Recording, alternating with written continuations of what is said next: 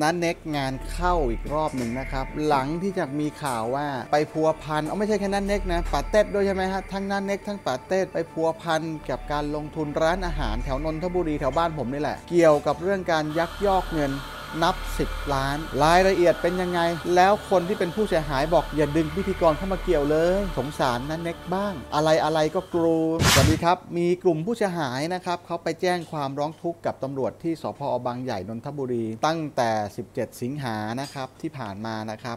โดยการเปิดเผยของเลขานุกการส่วนตัวของนันเน็กเนี่ยนะครับแหมจะเขียนว่าพิธีกรชื่อดังทำไมนันเน็กก็นันเน็กไปเลย รวมเงินกับหุ้นส่วนเปิดร้านอาหารแห่งหนึ่งแถวนนทบุรีปรากฏว่าเลขานันเน็กเนี่ยนะครับซึ่งเป็นผู้มีอำนาจทำธุรกรรมผ่านแอปพลิเคชันของธนาคาร ที่รวมเงินของหุ้นส่วนไว้ ได้แจ้งว่าเงินของบริษัทที่รวมกันทั้งหมด 50 หุ้น เพื่อทำร้านอาหาร 2 แห่งหายไป8ล้าน5แสนบาทผู้เสียหายติดใจในรายการเดินบัญชี เนื่องจากว่าพบว่าเงินดังกล่าว ได้ถูกทยอยโอนออกไปจากบัญชีที่ร่วมทุน และไม่ได้ถูกโอนไปทั้งหมด ซึ่งความจริงแล้ว คืออย่างนี้นะ มันมีประเด็นอยู่ คือทางบัญชีที่เขาเก็บเงินเขาอ้างว่าเขาโดน call center hack ทีนี้ผู้เสียหายเนี่ยไม่เชื่อเพราะอะไรเขาบอกว่าการโอนเงินเนี่ยเป็นการโอนครั้งละมาก ๆ ไม่ใช่การทยอยโอน จึงทำให้รู้สึกผิดสังเกต อยากขอให้ตำรวจที่เกี่ยวข้องดำเนินการตรวจสอบผู้ต้องสงสัย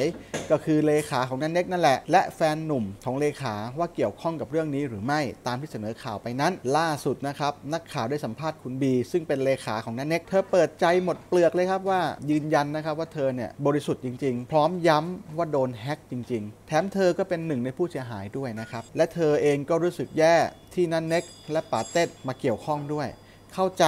และเขาจะช่วยเหลือเขาจะเดือดร้อนไปด้วย ทั้งที่เขาก็เป็นหนึ่งในผู้เสียหายเหมือนกัน แถมเรื่องนี้ก็ไม่ได้เกี่ยวข้องอะไรกับทั้งคู่ ซึ่งคุณบีเธอยินดีที่จะรับผิดชอบในเรื่องนี้เอง แต่ตอนนี้มันกลายเป็นว่ามีบางคนเอาความมีชื่อเสียงของใครก็ตาม มาทำให้เรื่องนี้อยู่ดูใหญ่โต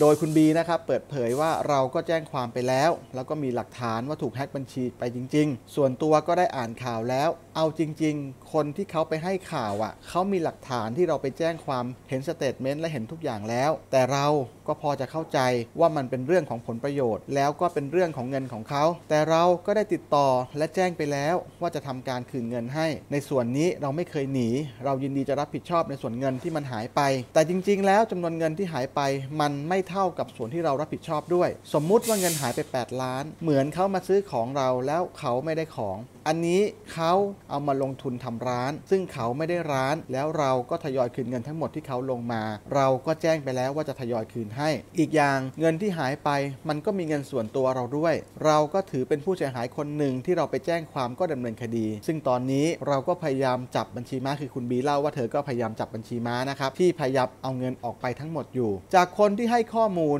มองว่าถ้าเป็นการโดนแฮ็กจริง ๆทำไมถึงทยอยเอาออก ถึงไม่ยอมเอาออกไปทีเดียวเลย ตรงนี้คุณบีอยากแสดงความเห็นอย่างไรคือนักข่าวถามนะครับว่าถ้าเป็นโดน call center แฮ็กไปทำไมไม่โอนไปก้อนเดียว เขาก็อธิบายอย่างนี้นะครับ คือจริง ๆ เราก็ไม่ทราบค่ะ ถ้าเรารู้วิธีการเงินมันก็คงไม่หาย เพราะจริง ๆ แล้วบัญชีเงินที่หายไป เป็นบัญชีที่เราเนี่ยไม่ได้เข้าไปดูตลอดเวลา มันเป็นบัญชีที่เราตั้งใจทำร้านใหม่กัน แล้วมันก็ถูกเปิดทิ้งไว้ จริง ๆ มันมีรายละเอียดเยอะมากกว่านั้น แต่มันอยู่ในกระบวนการทางกฎหมาย เราก็พูดอะไรมากไม่ได้ ซึ่งทุกคนทราบค่ะ ว่าก่อนหน้านี้มีเรื่องราว หรือเป็นข่าวมาแบบนี้มันเกิดขึ้นมา 5 เดือนแล้ว เรามีการอธิบายเจอหน้าเคลียร์กันแล้ว เราก็ยังมีการเคลียร์เรื่องการชดใช้ด้วยซ้ำเราไม่ได้หนีไปไหน และเราไม่เคยบอกว่าเราไม่ใช้เงินใคร แต่เราคือหนึ่งในผู้เสียหาย แล้วก็เพื่อให้เราได้ตั้งตัวหาเงินมาคืนทุกคน การที่ทุกคนไปแจ้งคือเราไม่ได้ชวนทุกคนนะคะ มันมาจากการที่หุ้นส่วนทุกคนอยากทำร้านใหม่ แล้วทุกคนก็ไปชวนคนนั้นคนนี้มา แต่พอไม่มีใครอยากรับภาระตรงนี้ ก็เอาเงินตรงนี้มาโยนให้เราเป็นคนดูแลแต่เขาพยายามอธิบายว่าเขาเนี่ยไม่ได้อยากเก็บเงิน8ล้านห้าไว้หรอกแต่ทุกคนโยนไหมเขาต้องเก็บเอง แต่พอเกิดเรื่องแบบนี้ขึ้นมากลายเป็นว่าทุกคนโยนความผิดมาให้เรานี่นี่ ซึ่งเราก็เข้าใจว่ามันเกิดอะไรขึ้นเหมือนกัน เพราะว่าจำนวนเงินของเราส่วนที่มันหายก็ไม่ใช่น้อย มันเป็นหลักล้านเหมือนกัน เพราะว่าเงินเรากับเงินแฟนรวมกันก็ประมาณ1ล้าน6แสนบาท ซึ่งมันก็เป็นเงินที่บางทีเราก็ยืมมาเพื่อเราจะทำบ้าน เพราะว่าเราเพิ่งทำบ้านใหม่ เราก็ต้องขายรถขายคอนโด เพื่อจะเอาเงินไปจัดการในส่วนที่มันเสียหายเหมือนกัน เราก็มีหลักฐานงั้นก็ดีค่ะ จะได้ช่วยกันจับบัญชีม้าให้หน่อย เพราะว่าเราก็อยากรู้อยากเจอคนที่ทำเรื่องแบบนี้เหมือนกัน ในส่วนของกฎหมายคืบหน้าไปถึงไหนแล้วอันนี้คือนักข่าวก็ถามความคืบหน้านะ คือจากที่ตำรวจแจ้งเรามาเขาก็ออกหมายจับบัญชีม้าเหมือนกระบวนการปกติทั่วไป เราก็ไปยื่นเอกสารที่ตำรวจไซเบอร์ เหมือนให้เขาช่วยอีกทางหนึ่งแต่ทางตำรวจไซเบอร์ก็บอกนะคะว่า ถ้าเขาอายัดเงินของใครไม่ได้นั้น เราก็ไม่สามารถคือเขาตำรวจไซเบอร์เขาบอกเลยว่าเขาอายัดเงินใครไม่ได้ เพราะเงินมันออกไปแล้วทำให้เขาเนี่ยไม่สามารถเอาเงินมาคืนได้ทำได้แค่จับบัญชีม้า ตั้งแต่วันแรกที่เรารู้เรื่อง เราก็อายัดบัญชี แล้วก็แจ้งความตามกระบวนการ ส่งเอกสารทุกอย่างให้ให้หุ้นส่วนเราดูทุกคนหมดค่ะ แม้แต่สเตทเมนต์ส่วนตัวเราก็ยืนยันว่าเราบริสุทธิ์ใจโดยการให้ดู คือจริง ๆ มันเป็นปัญหาระดับคนในกันเองมากกว่า ที่มันมีผลประโยชน์กันอยู่ มันไม่ได้ผลประโยชน์นั้นแล้ว แต่ว่าช่างเถอะค่ะ ไม่อยากต่อเรื่องให้เป็นเรื่องใหญ่ไปอีก เพราะสุดท้ายก็คงต้องปล่อยให้ว่ากันไปตามกระบวนการตามกฎหมาย เพราะเราก็ยืนยันว่าเรานำบริสุทธิ์นักข่าวถามต่อครับ แล้วถ้าเกิดว่าจับคนร้ายไม่ได้ล่ะ จะรับผิดชอบคืนเงินยังไง ในทางกฎหมายอะจริง ๆเขาโอนเงินให้บริษัท คือคนจะต้องรับผิดชอบจริง ๆ คือบริษัท แต่ในฐานะที่เราเป็นคนทำให้เรื่องนี้เกิดขึ้น เราก็ยืนยันว่าเราจะเป็นคนใช้หนี่คืนให้ทุกคน เรายืนยันแบบนั้นเสมอ แต่ว่าเราห้ามไม่ให้ใครจะไม่โอเค หรือจะไปฟ้องในสิ่งที่เราทำ ไม่ได้ เรื่องนี้มันมีหลายคน มีทั้งคนที่มาเจรจา แล้วก็ยินดีจะให้เราผ่อนชำระคืน ซึ่งมีการตกลงกันแล้ว โอเค จากเรื่องที่มันเกิดขึ้นว่าจะมีการผ่อนชำระคืนตั้งแต่เดือนมกราแต่สำหรับคนที่ไม่เข้าใจเราก็คงไปห้ามเขาไม่ได้ เราคิดว่าเราได้อธิบายไปแล้ว ส่งหลักฐานให้ดูแล้ว อันนี้ก็อยู่ที่ว่าใครจะคิดแบบไหน เพราะว่ามันเป็นเรื่องผลประโยชน์กันทั้งนั้นเออเมื่อถามไปว่าหุ้นส่วนมีกี่คน จริง ๆ ก็เยอะค่ะรายละเอียดแยะเพราะมันจะเปิดร้านกันก็ถามกันต่ออีกนะครับว่าเออส่วนที่มันมีปัญหาจำนวนหนึ่งมันเกิดขึ้นมาจากว่าหุ้นส่วนหลักเราไปชวนคนมาร่วมทุนร่วมหุ้นหลาย ๆ คน มีทั้งคนมีชื่อเสียงและไม่มี ก็มีน้าเน็กที่เป็นผู้เสียหายด้วย ซึ่งในนั้นมีเงินมีป่าเต็ดที่เป็นผู้เสียหาย คือเงินที่เราลงไป ซึ่งมันมีเงินของทุกคนอยู่ในนั้น แล้วก็คนที่มีชื่อเสียงน้าเน็ตป่าเต็ดเขาว่าไงบ้างคือนักข่าวถามคุณบีนะคุณบีก็บอกว่าเขาก็เข้าใจแล้วก็ยินดีช่วยเหลือเรา เอาจริงๆในหลายคนที่ไม่สนิทกับเรา เราก็ยังเข้าใจแบบว่าจะไปช่วยเขาทำงานเพื่อจะได้เอาเงินมาคืนเขาได้ซ้ำเออ อะผมข้ามข้ามไปเรื่องสภาพจิตใจไปนะไม่ได้สำคัญ แต่ประเด็นก็คือ คือเรื่องนี้นะครับมีการถามนะครับว่าอะแล้วจริงๆอะปาเต้เขาก็ยังช่วยหาวิธีเรื่องนี้ให้เราหาเงินมาคืนอยู่ ว่าเราจะคืนเงินได้ยังไง คือเรื่องนี้มันก็มีการคุยกันในกระบวนการอยู่แล้ว มันมีหุ้นส่วน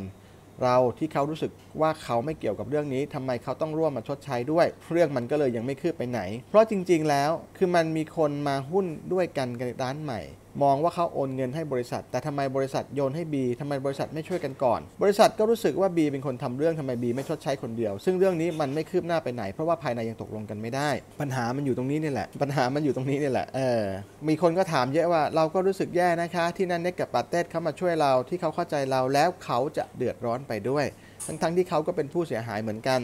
เรื่องนี้เลยกลายเป็นว่าเอาความมีชื่อเสียงของทั้งนันเน็กทั้งปาเต้มาทำให้มันดูเป็นเรื่องใหญ่เรื่องโต งั้นเราก็ไม่ขอไปตีใส่ความใครอีกแล้ว เรายืนยันว่าทุกอย่างเป็นกระบวนการทางกฎหมาย อันนี้นะเป็นกระบวนการลักษณะของการรวมทุนหุ้นกันทำร้านอาหารนะมันมีนันเน็กมีปาเต้ด้วยอยู่ในนั้น แล้วปรากฏว่าในเงินที่เอาไปลงทุนเนี่ยเขาฝากกันไว้ในบัญชีส่วนตัว แล้วเขาอ้างว่าบัญชีส่วนตัวเนี่ยโดนมิจฉาชีพเนี่ยแฮ็กไป8ล้าน5แฮ็กไปหมดเลย ก็เลยต้องไปแจ้งความดำเนินกระบวนการทางกฎหมายคำถามที่น่าสนใจคือคุณผู้ชมคิดว่าคือเขาบอกว่าบริษัทตั้งขึ้นมา แต่บริษัทให้คุณบีเป็นคนเก็บเงินคำถามคือหุ้นส่วนที่โอนตังค์ให้บริษัทแล้วบริษัทให้คุณบีเก็บเงิน ทั้งบริษัททั้งคุณบีต้องร่วมรับผิดชอบด้วยไหมคุณบีเป็นลูกจ้างของบริษัทหรือเปล่าถ้าคุณบีเป็นลูกจ้างของบริษัทเนี่ยลูกจ้างทำนายจ้างต้องรับผิด หรือคุณบีเป็นตัวแทนบริษัทไหมถ้าคุณบีเป็นตัวแทนบริษัท ตัวแทนทำเสียหาย บริษัทต้องร่วมรับผิด แต่ที่ยิ่งไปกว่านั้นก็คือการฝากเงินไว้กับคุณบี แล้วคุณบี ต้องใช้คำว่าประมาทเลินเล่อก็ว่าได้ หรือจะโดนแฮ็กก็ว่าได้ แต่ผมอยากจะบอกอย่างหนึ่งถ้าธุรกรรมตัวนี้คุณบีไม่ได้เป็นคนทำธุรกรรมเองผมจะชี้ทางสว่างให้นะครับถ้า call center มันใช้โปรแกรมแฮ็กเข้ามาแล้วคุณบีไม่ได้โอนด้วยตัวเองแบงค์คืน100%แน่นอน100%แบงค์คืนแน่นอน แต่จะคืนสัดส่วนแค่ครึ่งหนึ่ง